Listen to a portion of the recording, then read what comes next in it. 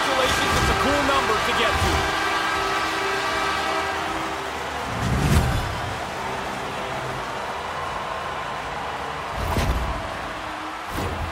He's probably got about two seconds from the time that puck's delivered to find it. He can't see it, so he drops into the butterfly and hopes it hits him.